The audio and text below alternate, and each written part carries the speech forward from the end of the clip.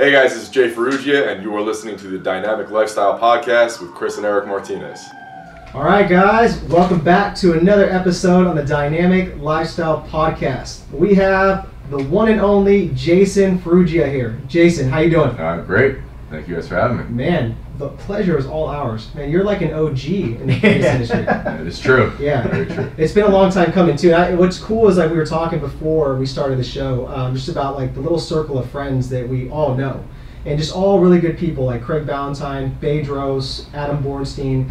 I mean, it, it's really cool, you know, and just um, you know we're excited just to you know interview you. I know you're going to drop a lot of wisdom, so I'll try. I'll try. yeah. But you know, it's funny on the, on the way over, I was listening to Howard Stern Best of 2018, and I was listening to Snoop talk, Mhm. and uh, he was talking about Jay Z and Nas and all these different guys, and uh, he said, "I don't view any of these guys as competition." And I was thinking, "Oh, that's amazing! Like all the guys that you just mentioned, there's so many people who struggle and never achieve success because they're trying to beat everybody, they're trying to compare themselves, they're trying to be better than everybody, but like." I don't view Joe DeFranco or Luca or Smitty or any of those guys as competition. Maybe when I was younger, like in my mm-hmm. late twenties, when I first started getting online, I might have. But like, I just learned from everybody. I'm inspired by everybody. Right. I mean, I just I have so much love for all those guys and and, and you guys. Like, it's it's just different. Like I, I approach life differently now than I used to, Yeah. and I, I think that's uh, just having this circle of friends is amazing. Absolutely. No, Yeah. it's just a lot of it's ego. You know, it's like Totally. you said, like late twenties, like you're just very competitive. Like you, Yeah. you don't have all that experience, and like you see all these people just like doing great, and you're like, damn, like I need to get on that level. Like, how do I beat these guys? Yeah, But exactly. Or as that you should get be me. Yeah, Yeah. as you get older, it's like, man, you got to kind of build that tribe and that alliance. Yeah. it's like, why not help each other out? You know, and just keep learning from each other. Totally. Yeah. Hundred percent. Right on, man. So um, we kind of like to open up the show with a little bit of like humor. Um, what is like the funniest thing that's happened to you in 2018? I know we're almost at the end of 2018, but what's a funny story? Oh man, uh, hmm, so many. I wish you guys had prepared me for this. I can't think off the top of my head. That's the best part. Yeah. Uh, Jeez. I got nothing. I can't. Uh, uh, can we come back to We this? can circle back. something- Yeah, yeah, yeah, yeah, yeah. Circle back to that. Yeah. Yeah. We've had other guests where they're just like kind of stumped and like, oh shit. But it's, Yeah. it's I don't know. okay. I know there's been a lot. I can't think of one.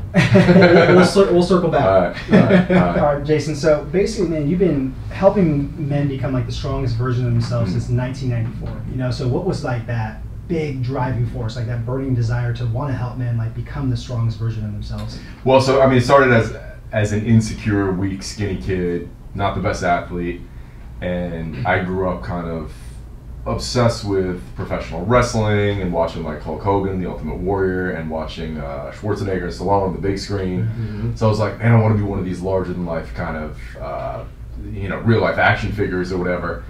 And so that was what got me into training. Uh, I'd like to say it was for sports, but it wasn't. It was just because I was skinny and insecure and weak. Uh, and it, it made me better at sports, but at that point it was kind of too late. Like I was already.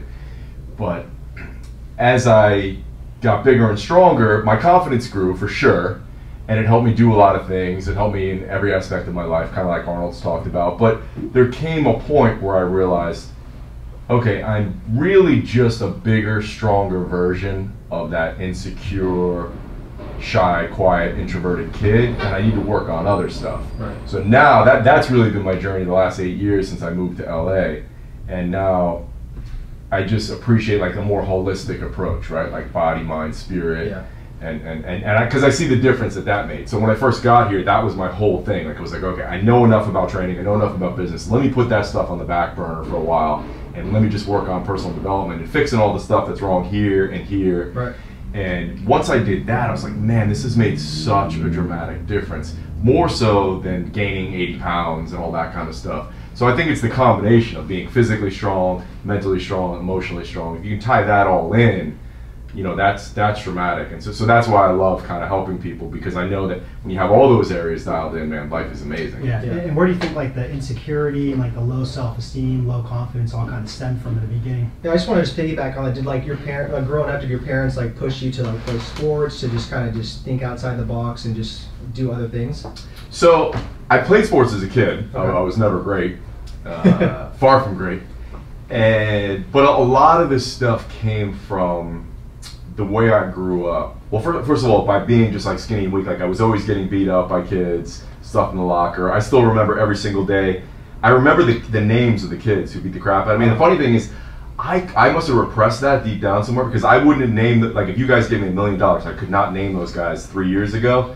But I took an edible and went to a float tank one time. and I, I, it came to me when I came home and I was telling my wife, I, I, I walked in the door, I go, Joel Cameron, Ed Richardson, Jeff Scotty, Rick Braun. She goes, What? I was like, Oh, Those are the kids that beat the crap out of me every single day.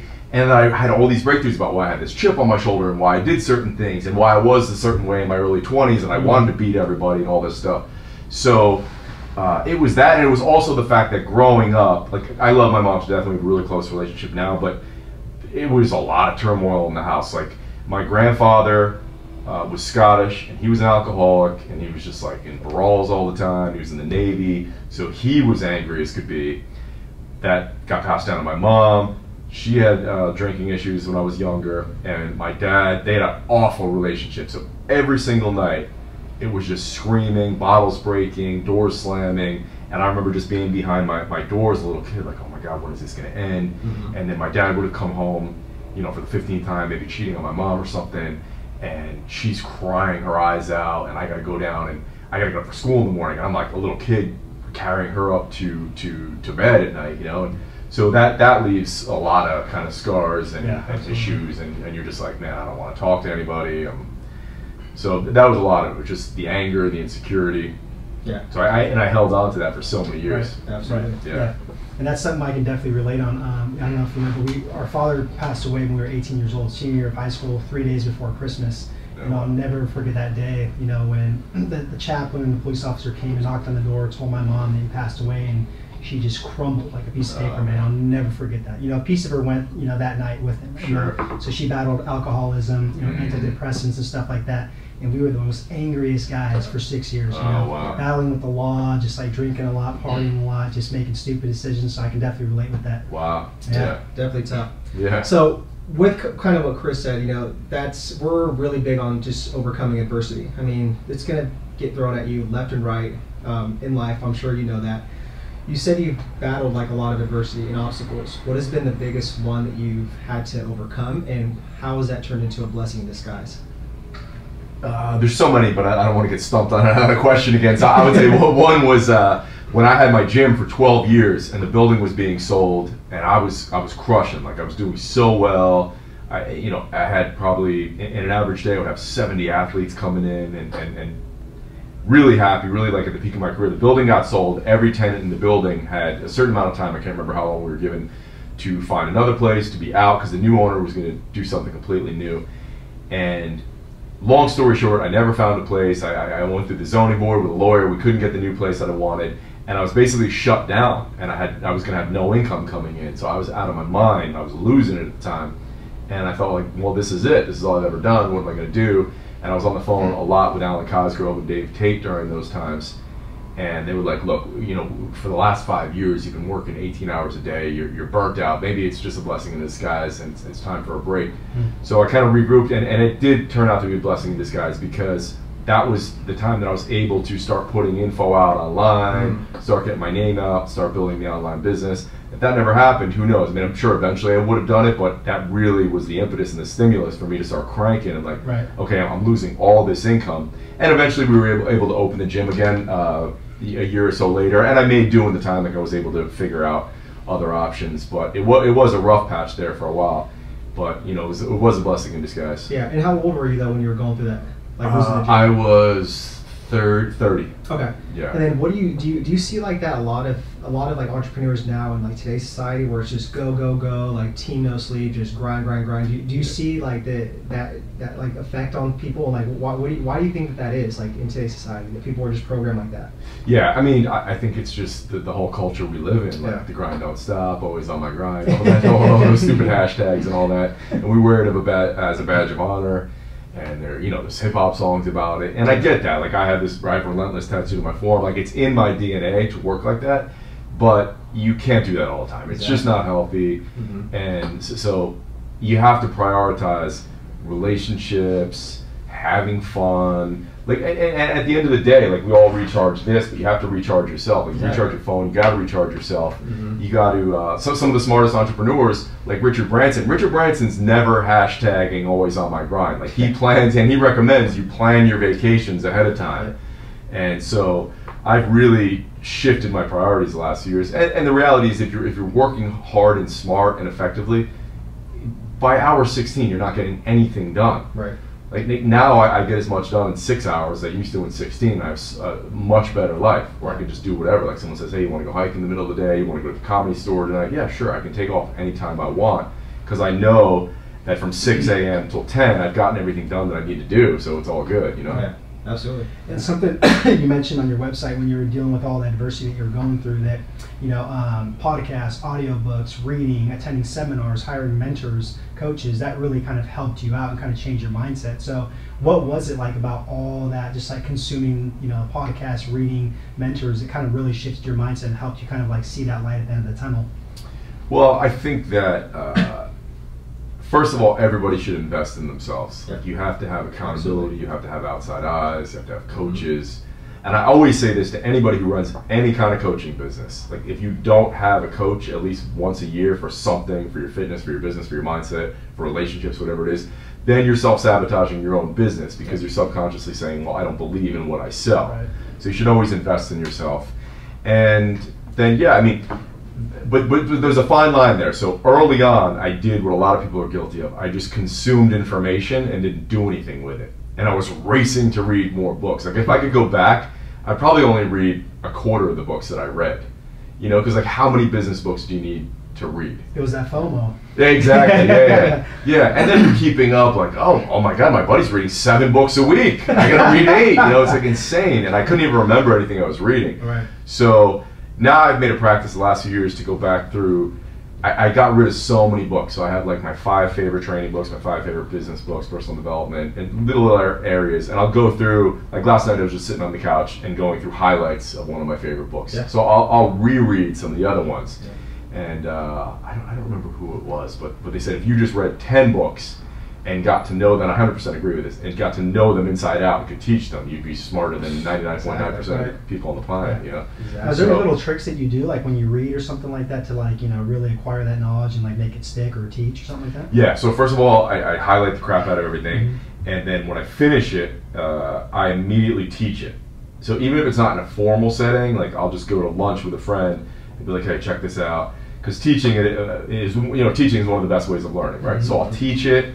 Usually, I'll write something about it, like uh, maybe in an Instagram post or an email, and uh, and then what I do is I'll go through. If it's a really good book, I used to do this for every book, and that became insanity. But now, if it's a really good book, I'll spend a, uh, a half hour. I'll go through my best highlights, and I'll talk and text them, and then I'll put that on a uh, a sheet and print it out double sided, and then laminate it, Yeah. and then so I could just go and flip through those, and then that way I can get rid of the books, you know.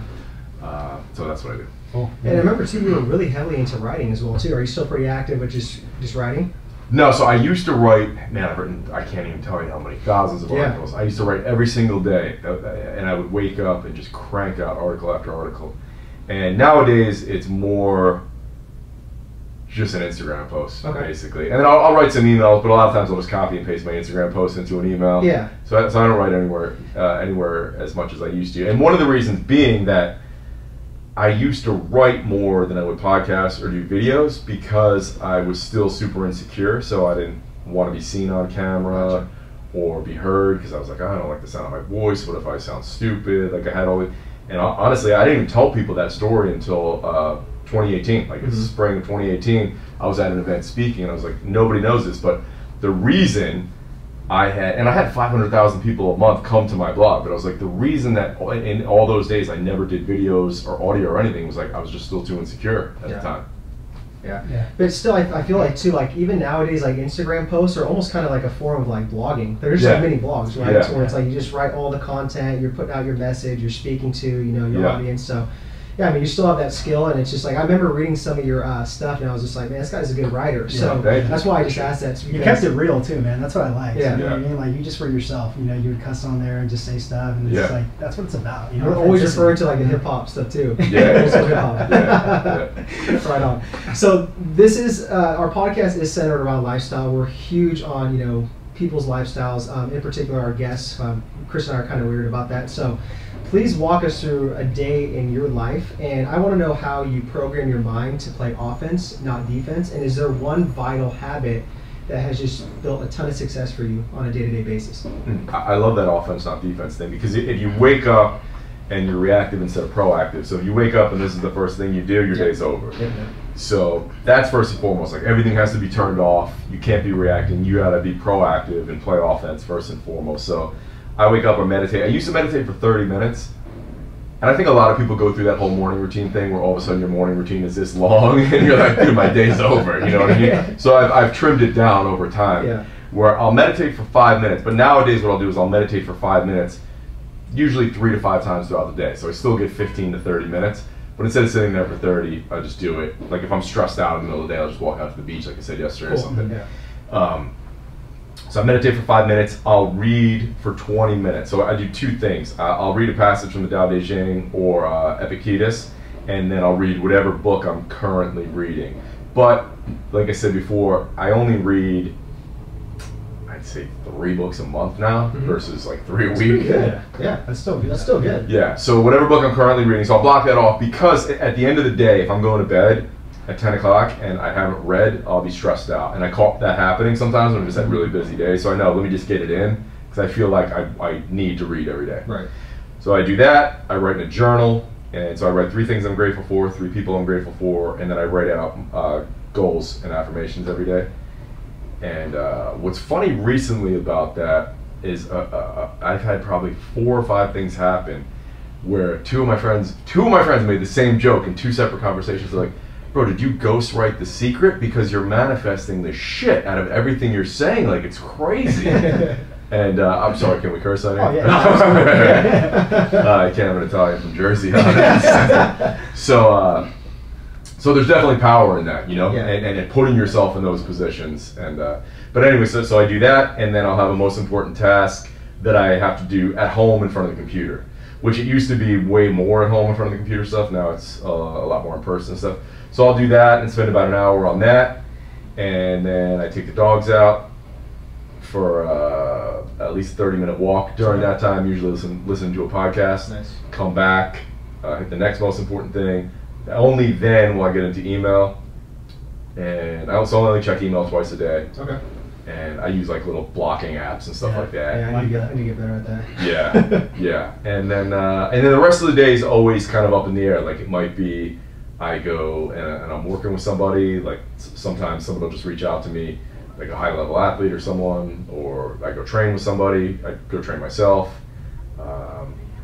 But then all over the place, you know, getting ready for the next podcast, recording the podcast, Yeah. all kinds of stuff like that. And I'm sure too. I mean, you're married, so I mean, you have to sometime like shut it off and Yeah. wind down. So Yeah. yeah. Is there anything you do to like wind down, like just at night that just like Edibles. Edibles. edibles. Chris, we gotta get started. Yeah. No, I try to. Uh, I mean, I definitely turn my phone off at a certain point.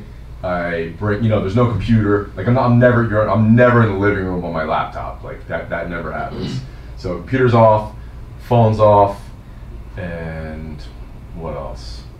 Eh, that's about it. But uh, quite honestly, even though I was joking, there are some days that I have found, like I, I didn't get into weed, like I said to you guys, until four years ago, Right. because I came from like the East Coast hardworking mentality. Oh, if, if you smoke weed, you're you're degenerate, you're a loser, you're a Yeah. slacker, you're not going anywhere. And I thought it was like this gateway drug and all that. And then you just want to eat Doritos all day. Like none of that happens. Yeah. When I got out here, all of a sudden, so many people that I admire and respect that have seven-figure businesses and are crushing it, or in the fitness industry, were into that whole scene. Like that's big out here, you know.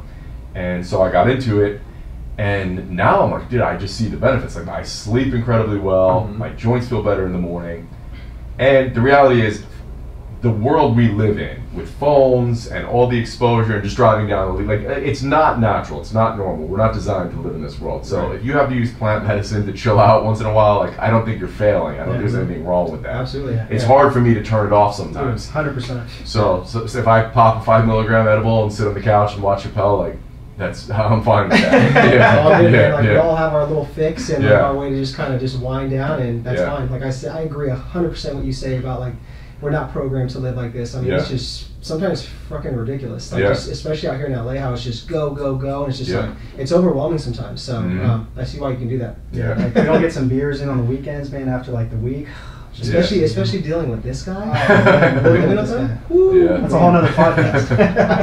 yeah. But I mean, I do like I I- like again. I meditate. I get a massage at least once a week. Nice. I do sauna, ideally every day, but I'll do sauna at least three days a week for thirty minutes. I do cryo. I get out on the beach. So all that stuff plays a Yeah. huge role. And my sleep is better at 44 than it ever was my entire life. So that's first and foremost. And even, but I'm saying, even with that all dialed in, with the insanity of life, sometimes, sometimes you need something. Yeah, You need an edible. man, you look early. You look like you're in your early 30s. Ah, yeah, man. see, that's amazing. I mean, it just goes to show that all that stuff pays off, though. Yeah. I'm such a big proponent on that. Yeah, Yeah. seriously. All right, man. So let's say that one morning, you know, you're doing your morning routine, and all of a sudden, like your phone's like making this weird sound. You have to check it, you Mhm. know, and it's a text message from Mark Zuckerberg, and he goes, "Jay, he's like, I love what you're doing. He's like, I want to help you spread your, your mission, your message to billions of people across Instagram and Facebook. I'm Mhm. going to grant you a 10 minute video. It's going to last for two days, and it's going to reach billions and billions of people. What would that message be, and why?" Wow. uh, if I could only have one thing to say, I, I would probably just talk to guys over 40, really. And if I had to just dial it down and know that it would get the most attention, I would just talk about strength and conditioning mainly over 40 and like how training for longevity and health more so than anything. I mean, there's a, million things I would like to talk about, but if I, I could just do that, it would be training guys like, uh, you know, joint health, uh, all, all the kind of stuff that's become more important to me as I've gotten older. Mhm. And uh, uh, I, I see so many guys, uh, professional athletes, professional wrestlers, and just regular guys my age who, and I did the same thing when I was in my 20s, just train like an idiot, beat the shit out of yourself, Same. joints hurt, your mobility's awful. So I, I would just basically do a 10 minute diatribe on that. Like, here's how you need to focus on your training. Because the reality is, if you're in pain, everything in your life suffers. Like, it sucks being. I mean, think about when you have a bad headache, or like if you if you break your arm or something, or whatever. You just have an injury from the gym. Like everything suffers. Your relationship sh- suffers. You're in a bad mood. Yeah. You can't focus. You can't sleep. And most people walk around in some kind of pain if they've been lifting heavy for a long time, lifting like an idiot. So getting people out of pain uh, I think really, and, and I do like you know like again with, with some athletes being able to extend their careers. You know, I look at friends of mine who are high level prof- professional athletes, and like, man, you should not be doing that. We want you to play another three, four, six years, whatever it might be. Here's what we're gonna stop doing immediately. Here's what we're gonna start doing immediately. So Yeah. That That's a good message. I like how you said like get people out of pain because man, there's nothing worse than being like in physical pain, emotional pain, yeah, mental, spiritual, whatever it is. You know what I mean? So I like Yeah. that. It's a good message. Yeah, and I feel too like um, you're you're kind of saying to just like keep it simple. So Mhm. simplicity, and Totally, you say that that's yeah. like really key to health, wealth, and happiness. And Yeah. can you talk a little bit about the 80-20 rule? Yeah, I mean, I'm, I'm a huge proponent in that in every aspect. Like from from my nutrition, I basically eat I'd say like seven foods every day. So I don't get I don't freak out about I'm not getting enough variety. Like I figured out what works for me. Uh, with training, I've gone back and all my programs, and it's funny because I know a lot of high level strength coaches that you kind of go through that same thing, and it's like like Bruce Lee talked about when as a beginner everything's super simple, and then you get more advanced and things are super complicated, and then you get to mastery level and everything's really simple again. Yeah. And so I know so many people who have, who have done that same kind of thing where uh, the more advanced they get, the simpler the programs become, less variety, less exercise selection, stuff like that. So, and then I apply that, again, nutrition, training, business, totally to, like, there's probably only three business books you need to read, Yep. and there's probably only uh, a few things that you need to be doing in business. Like, everyone could wake up every day and say, "All right, I should do Instagram, YouTube, Facebook, podcast, the blog, this, that, and the other thing. and all these different marketing channels. But what really makes the difference? You know, what's really going to move the needle, or what's really going to break the needle instead of move the needle? Like, Right. what's the, the the thing that's really going to get you more customers, make you more money? That's the most important thing. So always evaluating that in every aspect of your life, I think, is super important. Yeah, yeah, I, I agree because that reminds me of like an acronym that I just even stress to my students is KISS, right? Keep it simple, stupid. Mhm. You know, and it's just, we love that 80 20 rule just with ourselves. I mean, we pretty Yeah. much preach that and just live by that because, I mean, nobody is 100% on. And it's like, if you are, it's like there's other shit around you that's just going to kind of fold. Yeah, You know? yeah, and that, that's why some of my favorite books are the One Thing, Essentialism, Oh, the yeah, that's a 80 good book. Principle. Like, Yeah. yeah. I just reread those. Yeah. And whatever, I, like, like I mentioned to you guys earlier, when I start straying and doing too many things, I was like, all right, it's time to reread Yep. those and just go through my highlights. Yeah, Yeah. absolutely. Yeah. Um, so, what are you currently reading right now? Uh, I just read. It's called Play On. It's the science of high performance at any age. So it's all about the stuff I was just talking about, like Yeah. the Facebook thing. Yeah, it's really Awesome. cool. bunch of good info in there. Uh, I just read that. I just read Bedros's book. And what else did I read recently? Uh, those two. Oh, then I'm starting uh, James Clear's Habits book. Oh, the Atomic Habits. Yeah. Yeah, I heard that's really good. Yeah. Yeah, our roommate has it right there. I want to steal it from him. Yeah. yeah, but something too um, that I wanted to ask was just like all, all. So you said you're about to be 39. No, I'm it's 44. Or 44. Sorry about okay, because I thought you said like Bedros. When, when you guys were 39, you told that story. Yeah, yeah, yeah, yeah. so 44. We, we were blowing it out for the last year Yeah. of our 30s. So let's say, man, that like you were walking down the beach in Santa Monica, just kind of like you know getting you know your your your, your breaths and just kind of taking a break from work and Mhm. all that stuff, and then you kind of walk by like this like shadow, and it's a 25 year old version of yourself.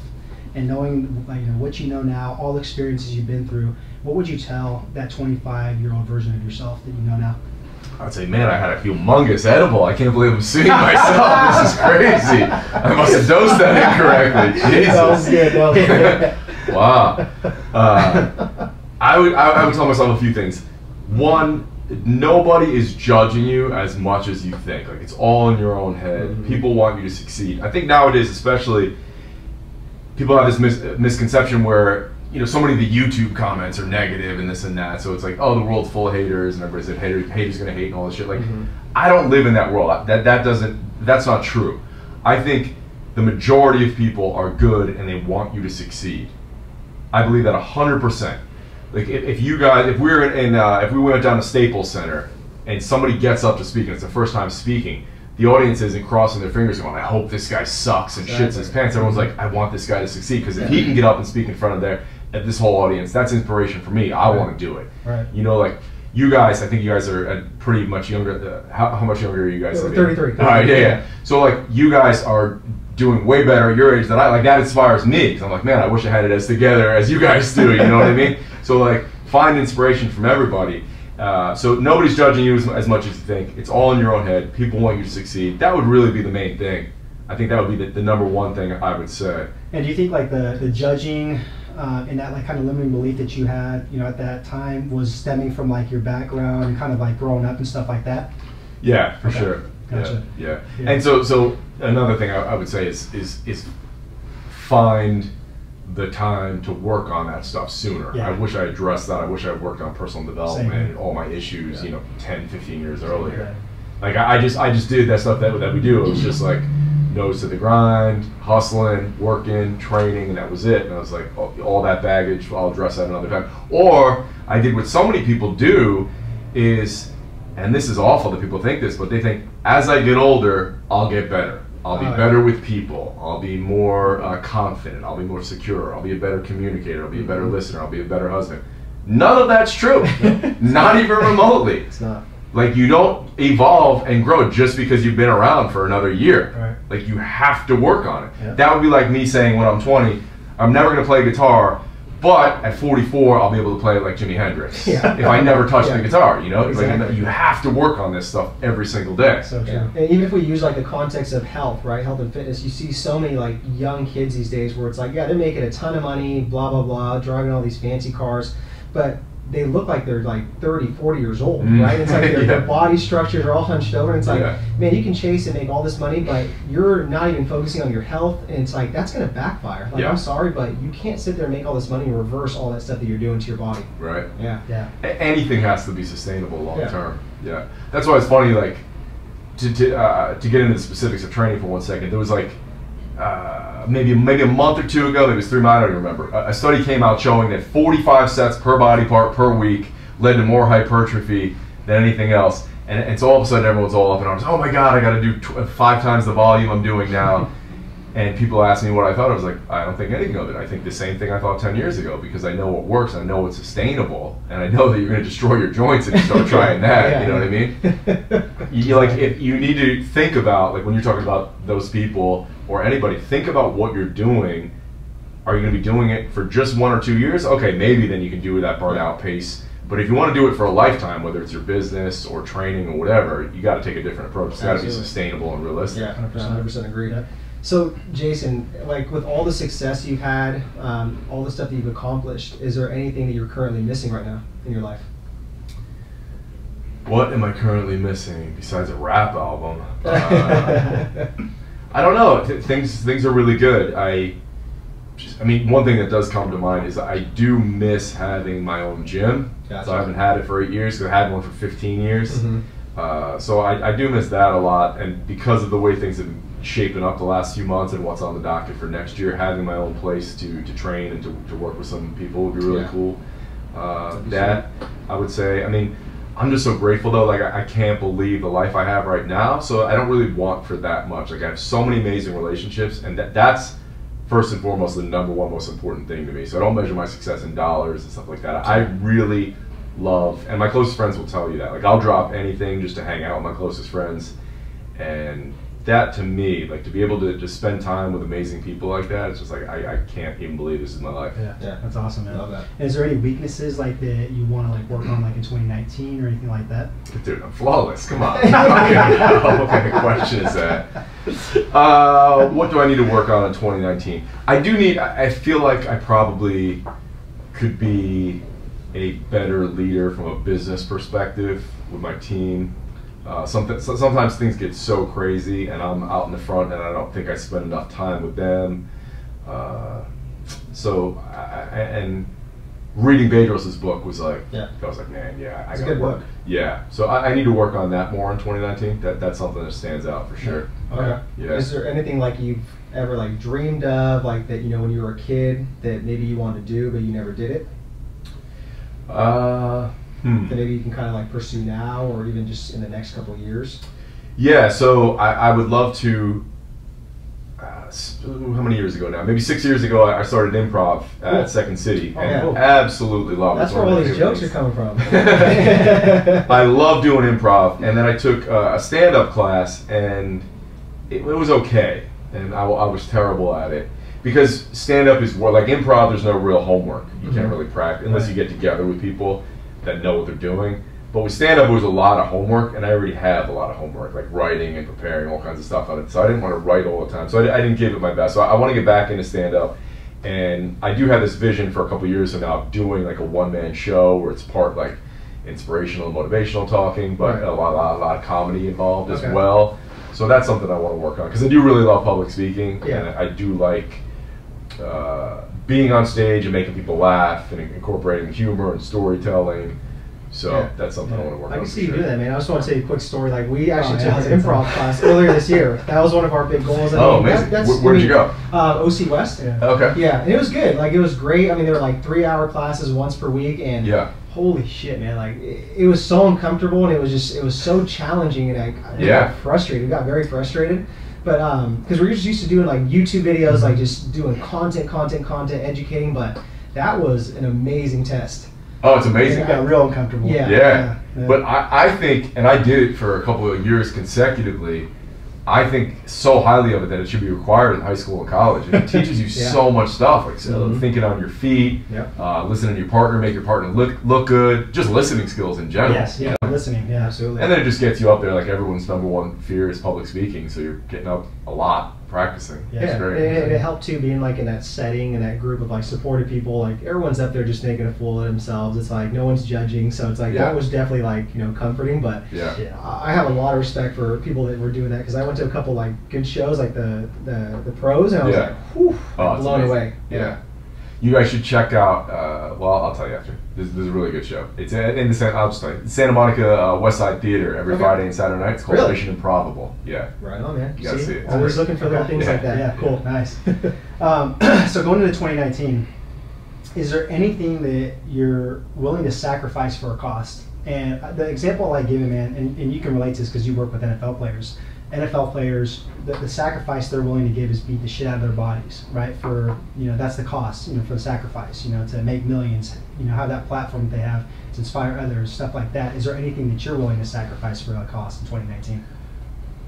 Well, off the top of my head, I, I've done this a couple times, and I will sacrifice making money for a less stressful life and more happiness and more singular focus. So I'm going to turn off certain aspects of my business in 2019, which I did three or four years ago. I, I shut down a, a multi six figure income stream just because it was driving me insane. And uh, hopefully that, that that's a, a good lesson for a lot of people. Like, you know, just because it makes you money, it might not make you happy, Right. and money can't buy you happiness. I mean, up to a certain point it can, but then you get into like Biggie said, "More money, more problems." Yeah, yeah, Sometimes it, it just depends, you know. Like I remember when I read Tim Ferriss's book, uh, the first one, The Four Hour Work. Week, and he said, "Figure out your ideal lifestyle, reverse engineer how much does it cost, how uh, reverse engineer your way to make that money." Yeah. And honestly, like a lot of people forgot about that. Yeah. Oh but when I got there, any amount of money I made above that didn't make me any happier. Yep. And then it's funny recently because of what you know what, what I'm trying to to do for 2019 and have more of a singular focus is I actually and that's why three months ago I was like this is getting insane. I'm making the same amount of money for 10 times more work and stress than I was a few years ago. So I need to change some things again.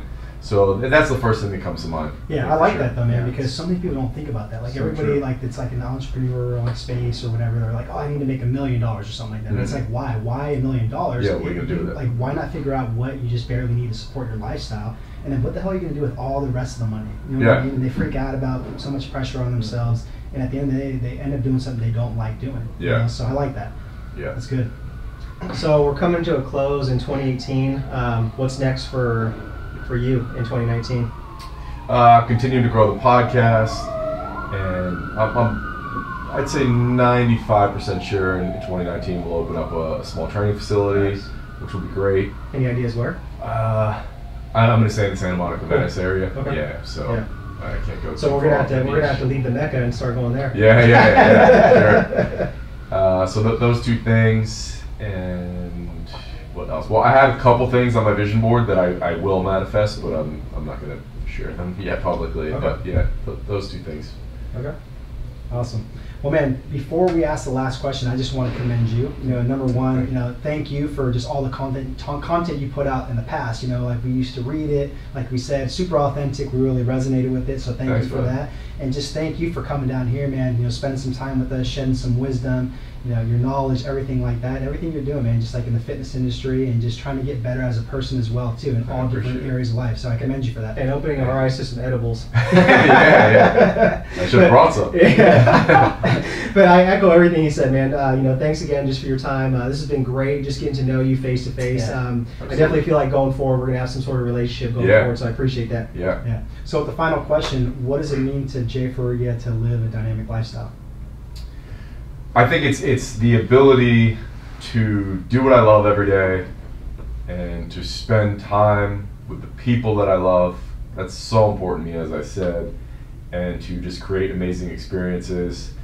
Um, th- those things mainly. Like I I never think about money or business or material possessions. It's being able to do what I love and really spend time with, with, with people that I love more than anything. Yeah. And then just, it, it sounds, uh, it's a small thing, but for me, being able to just make people feel better, like if, if, if, if it just read on my tombstone, here lies Jay Ferruggia, he made people feel better, like I would be okay with that if that's all I ever did. Like just meeting people, smiling, complimenting, shaking hands, like talking to people, stopping to talk to the old lady who has no one to talk to, or you know what I mean? Just like, smile at someone walking by. yeah, I like all that. I like the fact that I now am consciously not always in a rush and always grinding and always working, that I could stop and connect with people. Like, that's so much more important. Yeah, I could get way more done in a day if I wanted to and if that was my whole thing, but at the end of the day, who cares? Like, that's not going to mean anything on my deathbed. You know what I mean? Exactly. Absolutely. Yeah. So. I gotta give you It's 50. powerful. Yeah, that's powerful. Thank and that's thank you. something I want to work on as well. You know, I just need to get better at that Big too. time. So Yeah. I mean, yeah, I, I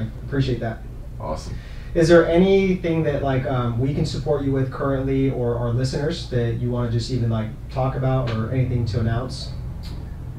No, not really. Uh, not that I can think of. I appreciate it. Okay. Nothing. Nothing Yeah. comes to And where can we find more info on you? Follow you, all that stuff. Yeah, uh, j.fit, J-A-Y.fit will send you to my main site, and then renegaderadiopodcast.com. Sounds good, man. We'll have that all linked up in the show notes. Once again, Jason, thank you so much for coming on. Thank you. All right. Awesome, guys. Thanks, Thanks so a much. lot. Until next time, guys. Hey guys, thanks so much for watching this podcast video. If you guys are interested in learning how to build your online fitness business, we have two free videos for you guys. The first video is how to build your online fitness business and make more money. And the second one is how to retain your actual online clients so you can sustain your online business. So make sure to click the link in the description box below and access those two videos and wait for the next podcast that comes on.